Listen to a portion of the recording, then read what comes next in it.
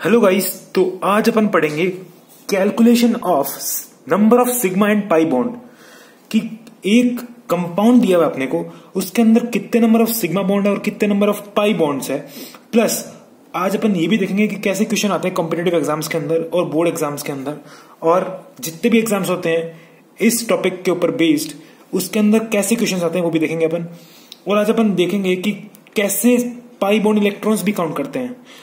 तो सबसे पहले बात करते हैं कि अपने पास अगर दिया हुआ है सी सिंगल बॉन्ड सी ये क्या है? सी सिंगल बॉन्ड सी इसके अंदर क्या होता है? एक सिग्मा बॉन्ड क्या होता है? एक sigma bond one single bond is equal to sigma bond अब बात करते हैं अपन सी डबल बॉन्ड सी तो जो सी डबल बॉन्ड सी होता है, उसके अंदर क्या होता है? एक सिग्मा बॉन्ड और एक पाई बॉन्ड दरअसल होता क्या है कि ये जो डबल बॉन्ड है ये किसके इक्वल होता है?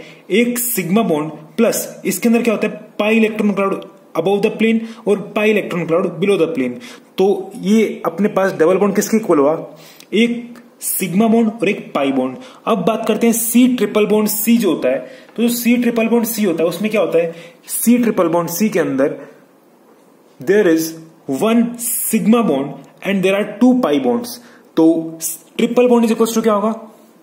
One sigma bond and two pi bonds.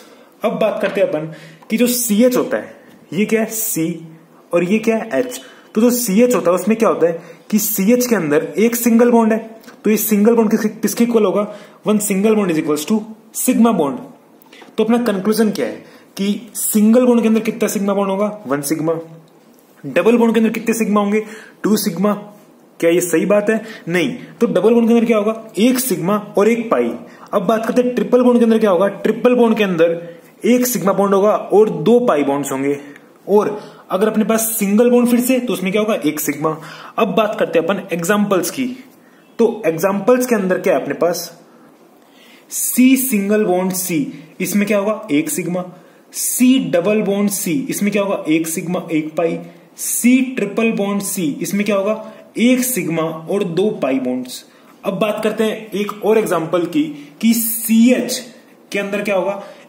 Single bond है मतलब वन सिग्मा तो ये अपन ने मॉडल के हिसाब से भी देख लिया और इसको टू के ऊपर भी देख लिया। अब बात करते हैं अपन कुछ क्वेश्चंस की, कि कॉम्पिटेटिव एग्ज़ाम्स के अंदर कैसे क्वेश्चंस फ्रेम होते हैं। तो सबसे पहला क्वेश्चन क्या है अपना?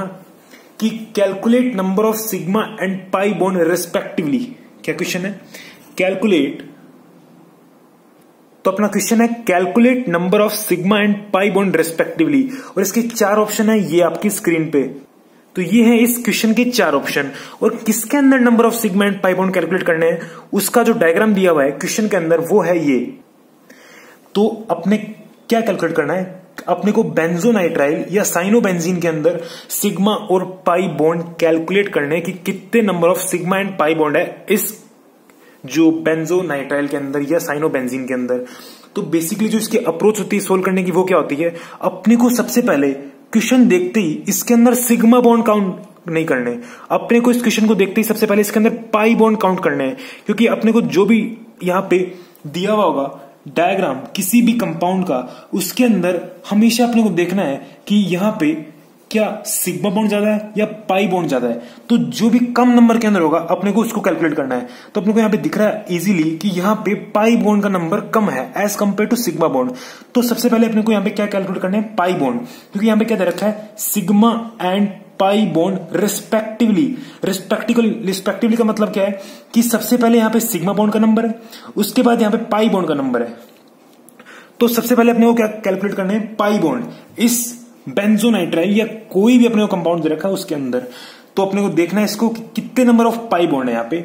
तो अपने को देखना है कि एक यहाँ पे ये क्या है? ये जो दिए हुए यहाँ पे डॉट ये एक सी को रिप्रेजेंट करते हैं। तो ये कार्बन है, ये कार्बन है, ये कार्बन है, ये कार्बन है और ये कार्बन है। तो सी डबल बॉन्ड सी के अंदर क्या होता है? सी डबल बॉन्ड सी के अंदर एक सिग्मा और एक पाई होता है। तो अपने को सबसे पहले क्या कैलकुलेट करना है? अपने को सबसे पहले कैलकुलेट करना है पाई बॉन्ड तो एक पाई बॉन्ड दो पाई बॉन्ड तीन पाई बॉन्ड और one triple bond equals to two pi bond तो दो, तीन, चार, पाँच। तो total number of pi bond कितने हो गए यहाँ पे?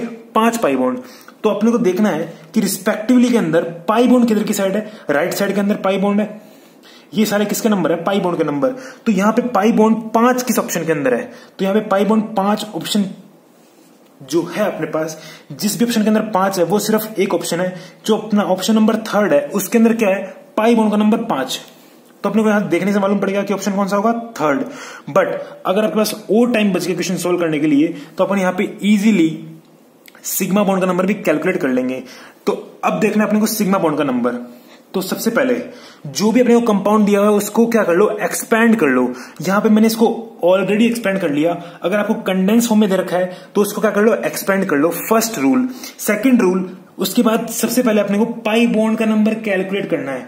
थर्ड रूल उसके बाद अपने को टाइम बच गया क्वेश्चन सोल्व करने के अंदर। अगर आपके पास टाइम है टाइम लिमिट नहीं है एग्ज़ाम के अंदर, जो कि ऐसा होता नहीं है टाइम लिमिट हमेशा होती है एग्ज़ाम के अंदर। अगर टाइम लिमिट नहीं है टाइम बच रहा अपने पास, अगर आपको प्रैक्टिस करनी है क्वेश्चन सोल्व करने की तो आप सिग्मा बॉन्ड में काउंट कर सकते हो। ये देखने के लिए क्रॉस चेक करने के लिए कि आपने क्या क्वेश्चन को सही करा है या गलत करा है। अब अपन इसके अंदर सिग्मा बॉन्ड के नंबर काउंट करेंगे। तो सिग्मा बॉन्ड के नंबर काउंट करते हैं। एक सिग्मा दो सिग्मा तीन सिग्मा चार, पाँच और एक छह। छह सिग्मा, सात, आठ, नौ, दस, ग्यारह, बारह और एक ट्रिपल बॉन्ड के अंदर एक सिग्मा, दो पाई। तो यहाँ पे क्या हो गया? एक सिग्मा तो तेरह सिग्मा। तो अपने को मालूम पड़ेगा कि ऑप्शन नंबर थर्ड क्या है? एकदम करेक्ट ऑप्शन है। अब बात करते हैं नेक्स्ट क्वेश्चन की। तो अपना क्वेश्चन नंबर सेकंड जो है ना, वो थोड़ा सा अलग टाइप का है। तो क्वेश्चन नंबर सेकंड क्या है कि number of pi bond electrons count करने हैं। अपने को इलेक्ट्रॉन्स काउंट करने हैं। पाई बॉन्ड के अंदर कितने इलेक्ट्रॉन्स होते हैं? तो आपको ये बात याद रखनी है कि एक बॉन्ड के अंदर जो एक बॉन्ड का फॉर्मेशन होता है, वो कितने इलेक्ट्रॉन से होता है? दो इलेक्ट्रॉन से। तो अपने को ये याद रखना है कि सिंगल बॉन्ड जो होगा, उसके अंदर क्या होगा? एक इलेक्ट्रॉन इस एटम का, एक इलेक्ट्रॉन इस एटम का। तो टोटल नंबर ऑफ़ इलेक्ट्रॉन कितने हो गए? इस बॉन्ड के अंदर टू इलेक्ट्रॉन्स तो हमेशा याद रखना आपको कि पाई बॉन्ड के अंदर टू इलेक्ट्रॉन्स होते हैं या एक सिग्मा बॉन्ड के अंदर टू इलेक्ट्रॉन्स होते हैं। तो अब अपन काउंट करेंगे number of pi bond electrons क्योंकि जो क्वेश्चन आता है, जो अगले टाइप का क्वेश्चन है, वो क्या है कि calculate number of pi bond electron तो अपना क्वेश्चन आपकी स्क्रीन पे ये रहा। तो अपने को पूछ रखा calculate number of pi bond electron if this इस कंपाउंड के अंदर।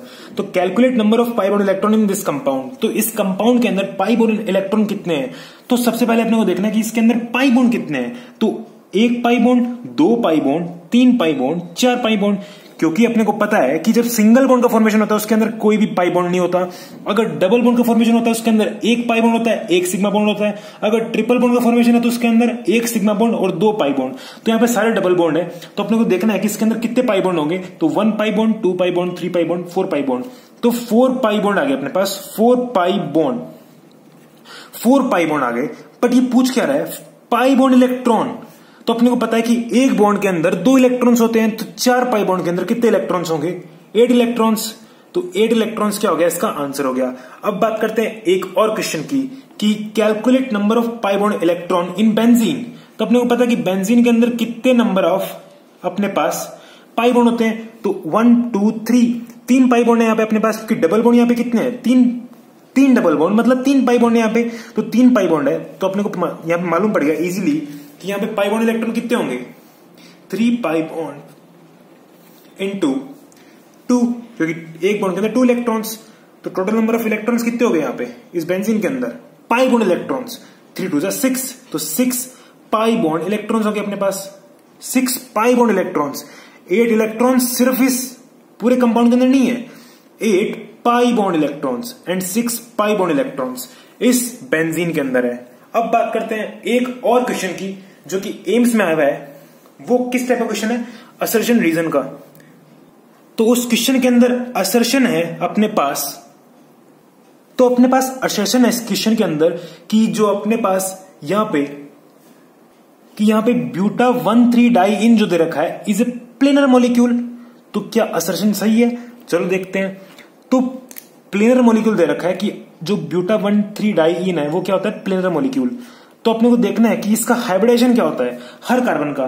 तो इस कार्बन का हाइब्रिडेशन sp2 इसका हाइब्रिडेशन sp2 इसका भी हाइब्रिडेशन sp2 इसका हाइब्रिडेशन sp2 तो हर कार्बन का हाइब्रिडेशन यहाँ पे sp2 है, जिससे क्या मालूम पड़ता है कि ये प्लेनर मोलिक्यूल है। तो यहाँ पे असर्शन क्या है? ट्रू अब बात करते हैं, अगर इसका रीजन करेक्ट होता तो रीजन क्या होना चाहिए था?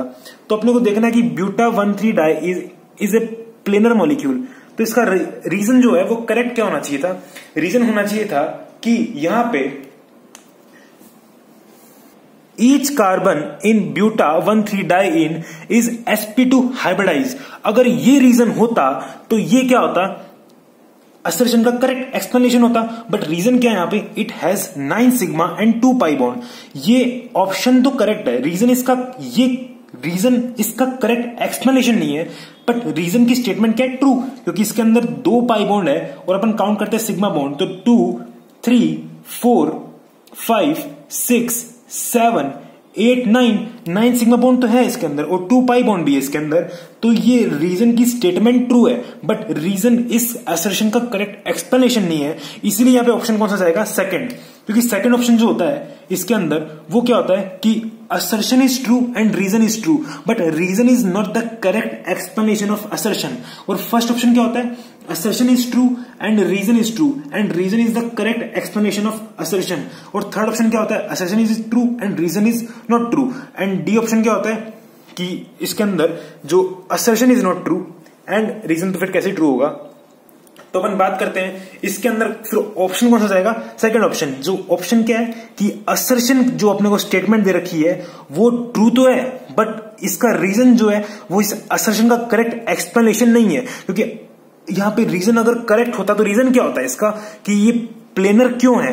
प्लेनर इसलिए है क्योंकि इसके अंदर हर कार्बन का हैबिटेशन क्या है? Sp2 अगर ये रीजन होता तो ऑप्शन जाता फ़र्स्ट बट यहाँ पे ऑप्शन क्या है? It has nine sigma and two pi bond इसलिए ये स्टेटमेंट ट्रू है बट इसका करेक्ट एक्सप्लेनेशन नहीं है सेशन का। इसलिए यहाँ पे कौन सा ऑप्शन गया? अपने पास सेकंड ऑप्शन तो अगर आज अपन ने जो पढ़ा calculation of number of sigma and pi bond and pi bond electrons और उसके सारे एग्जांपल्स देखे, और जो क्वेश्चन आए हुए हैं एम्स के अंदर और अदर एग्ज़ाम्स के अंदर तो अगर आपको ये वीडियो पसंद आई है then don't forget to like this video and अगर आप इस चैनल पर नए हैं तो इस चैनल को सब्सक्राइब करना बिल्कुल ना बोले एंड इस वीडियो को शेयर करें and don't forget to leave a comment and thanks for watching Upadhyay chemistry